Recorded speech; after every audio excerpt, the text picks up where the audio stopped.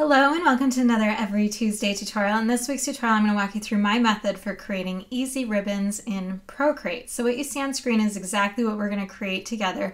We're going to start with a simpler ribbon first, just so you can kind of understand the process, and then we'll expand it to a more complex ribbon, which you see on screen right after that. So I'm just going to create a brand new screen size document, and then we will get going. Okay, I'm in my brand new document. I have a few colors that we're going to be using. Feel free to use any colors that you'd like, but I want to share the colors that I'm using in case you want to replicate it exactly. So down here are the colors that I'm using. You can always change the value of your colors by just hitting the value icon right at the bottom and I'm using the hexadecimal code. It's just a little faster to plug in than individual ones. And since this is on screen, it, hexadecimal works perfectly fine. So this is the darker purple. This is the kind of grayish blue color. This is the gray.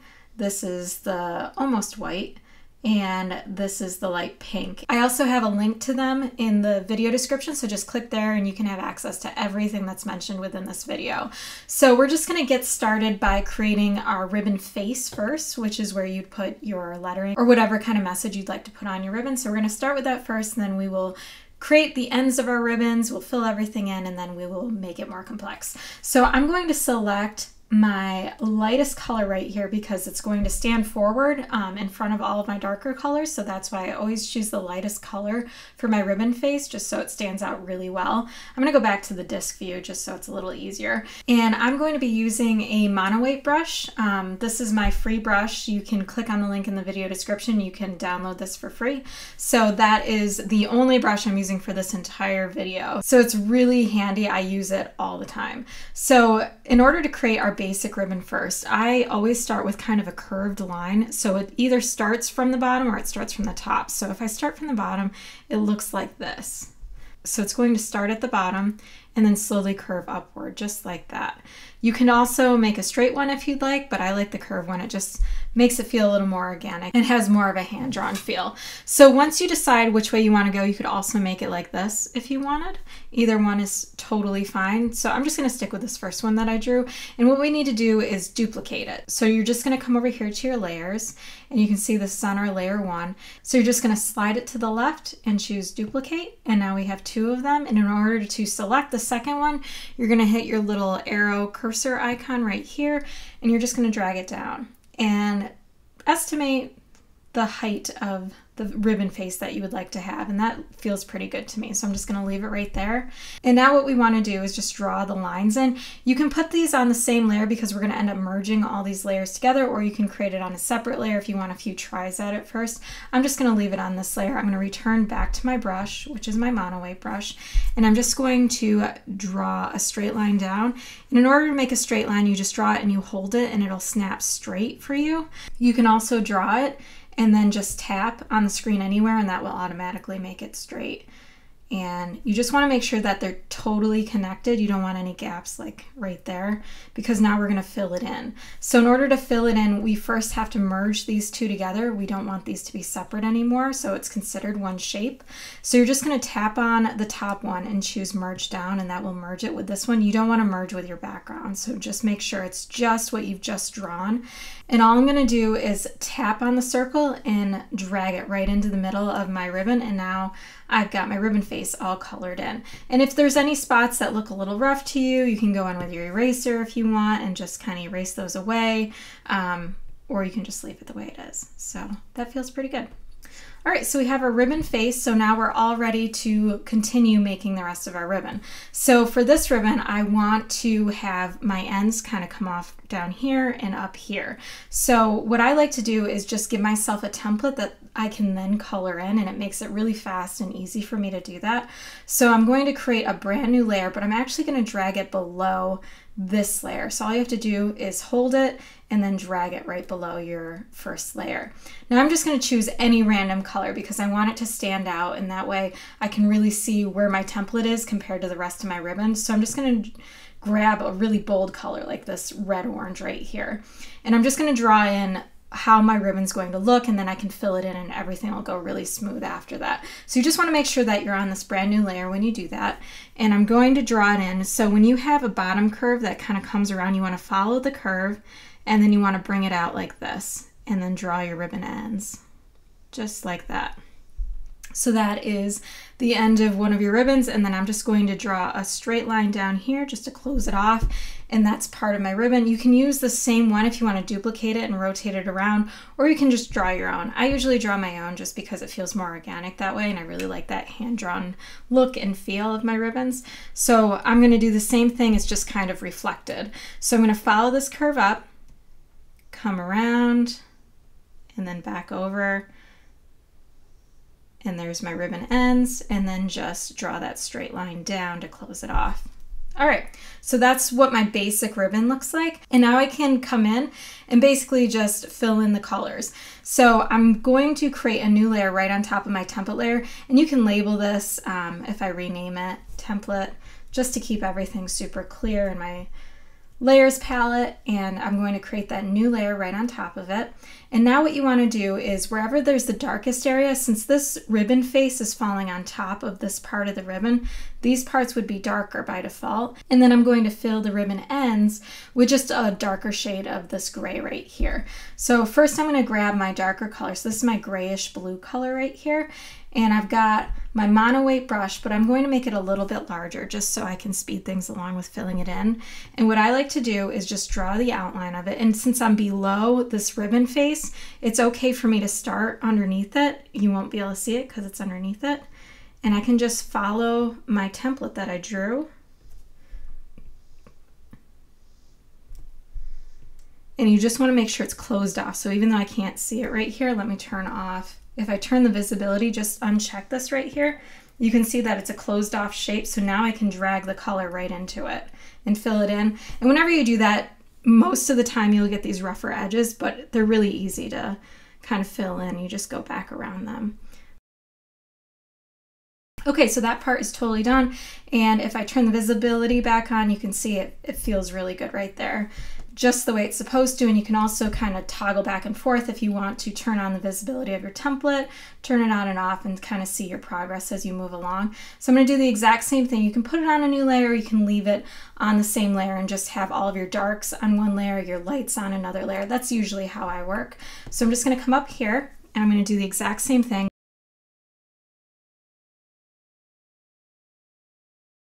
Okay, and now we can turn our ribbon face back on. you can kind of see how everything's looking from far away. If you want to turn your template on and off, just make sure that you're layering everything out. It's really important to keep separate layers. That way you can kind of watch your progress as you move along. Okay, so now all we have left are our ribbon ends and I'm gonna put those on their own layer as well. And these ones have to be behind this part that we just filled in, the curve. So I'm just going to tap on the template and then create a new layer because whatever layer that you have selected, a new layer is always going to exist right above it. So that's why I want this one underneath my dark area. So I can even label this. Okay, so I'm going to grab my kind of medium gray right here. It's darker than my ribbon face and I'm just going to come back, make sure I'm on the right layer, and I'm going to follow the exact same process. So I've got my brush right here and follow the template around.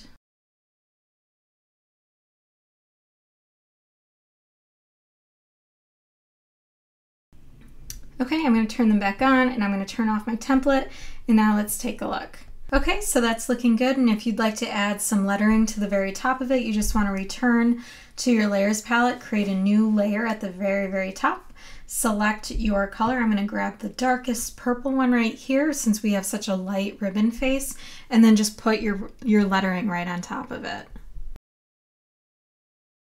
Okay, and then the very last thing that you want to do is just group everything together in case you want to reposition it or rescale it later on. That way all of your elements that you've already created always move together as one. And in order to group different layers together, you just want to select your topmost layer that's going to be a part of that group, and then all the layers that are also going to be a part of that group below them, you're just going to toggle them to the right just slightly. And you can see that they get selected that way. We don't need the template. We can actually just delete the template now since we've already used it for what we needed it for. And once you have your layers selected, you're just going to hit these three horizontal lines right here and that will convert it into a group.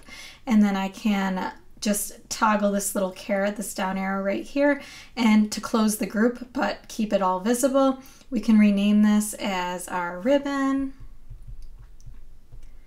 And then if we want to move it around later, all you have to do is with it, the group selected, just hit your cursor icon up here and now you can move it. You can rescale it if you'd like. You can do whatever you want. You can duplicate your group if you want numerous ribbons. Um, if you like doing bullet journaling, you can create different headlines with all of your headlines in ribbons. So you're just going to toggle it over, duplicate, and then you can move it and now you've got extra ribbons and you can just change the lettering on each ribbon. So that's how easy it is to create a simple ribbon in Procreate. So now we're just going to follow the exact same method that we did for this one. We're just going to make a more complex ribbon and you'll see really quickly that you can use the same method for any type of ribbon that you'd like to create in the future. So I'm going to create a brand new document that's screen size once again and I'm going to move a bit quicker um, for the rest of this just so you can see how you can apply these same methods to something more complex. Okay, I've got my screen size document. I'm going to be using the exact same colors just to keep everything really consistent right here.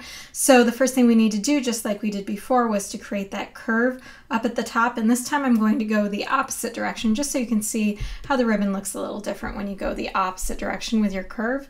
So I'm going to select my lightest gray right here. I'm going to make sure I've got my mono weight brush selected. And instead of going from the bottom to the top like we did before, we're going to go from the top to the bottom like this. And this curve doesn't need to be very severe at all. It can be very subtle as you can see right here and it's perfectly fine. That is really all you need. So once again, we just need to duplicate that curve and then select it, move it down, establish the height of our ribbon, and then we're just going to connect the ends. I'm going to zoom in here. Okay, and once again, we want to merge these layers together so we can fill it in. So in order to do that, you're just going to tap on the top one, choose merge down, and now we can drag this color right into the ribbon. So from here, we want to make this more complex. We're going to have two ribbon faces this time instead of just one. So we can actually just duplicate our current ribbon. I'm actually going to scale this down a little bit. This is a little big for me. Okay, so we're just going to slide this to the left and choose duplicate.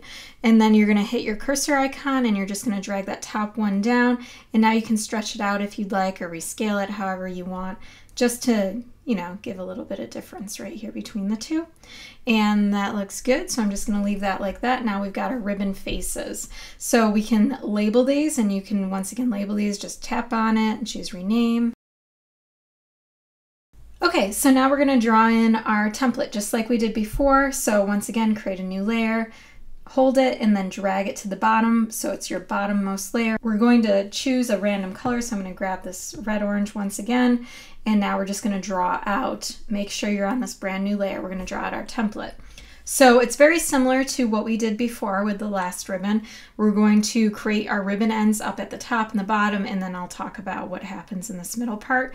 So we're just gonna follow the curve around.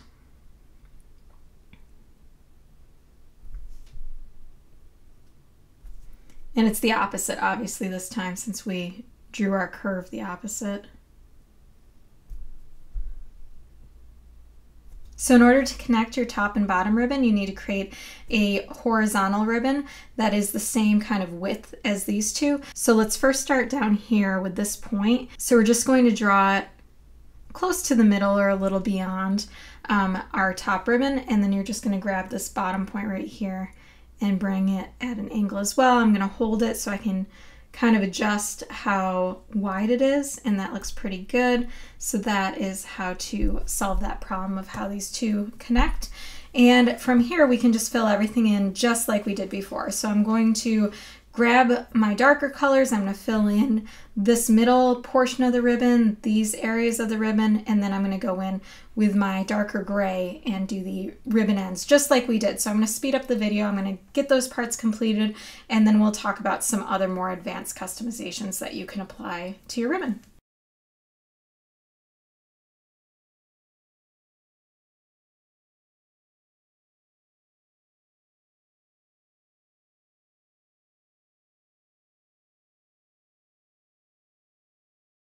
Okay, so I've got the ribbon all set right here. I can turn off my template layer. I no longer need that.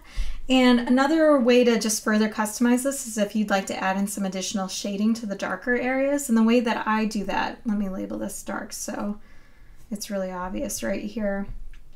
So you want to create a new layer right above your dark layer. This is totally optional. You do not have to do this, but it's a nice way to show a little extra depth. We have this opportunity with these ribbons, the faces being on top of the rest of it, to create that extra visual depth. So I usually create a new layer right above my dark layer. I'll grab the same exact color as the dark part of my ribbon, so this bluish gray color. And then what I'll do is I will change the blend mode right here. So I'm going to tap on the end, I'm going to change it to multiply. I'm to come over here and grab my soft brush. So it's under the airbrushing category right here. This is a default soft brush. Everybody has this. So just grab your soft brush, return to your layers palette. You're going to tap on your dark layer and you're going to choose select. This will select only what's on your dark layer. And then this part's really important. You want to tap on your top layer. So you want to make sure this layer is selected after you created a selection of your dark layer make sure that this top layer is selected. So now whatever we draw on this layer will only fall on top of areas in the dark layer since it was selected. So I'm going to grab my, my soft brush and then just lightly brush on top. And if it's not super obvious for you, you can change you can change the size of your brush over here, but this looks pretty good. So I'm gonna shade this in and then shade this over here slightly and over here slightly. So you can kind of see as we go further back. Let me release the selection by hitting this icon up here and you can see how that just pushes it forward a lot more with that extra depth. And now we're all set. And now you can just add in your lettering on top. So I'm going to create a new layer at the very top. I'm going to grab my darkest color right here and then just grab your favorite brush. I'm going to keep with my mono weight just to keep things consistent and put in your lettering. Okay, so now we can group our ribbon together just like we did with our simple one. So just make sure your top layer is selected and then you're just going to pull all of your other layers to the right. So they're also selected. We're gonna leave the template, the bottom layer off because we don't need it anymore. Hit these horizontal lines up here and now we have our group and we can close our group and now you can see we can move it around. Everything moves together. And the last thing that I also like to do, um, this is also very optional, is I'm going to create a layer below this group and I'm just going to add in some different foliage doodle details. So I'm going to grab my light pink color right here. That's what I use that for. I'm going to reduce the size of my brush just slightly and I'm just going to draw these in. And if you'd like to learn more about creating these little foliage doodles, I have a video on creating really easy floral and foliage wreaths in Procreate. I'll link to that in the video description as well.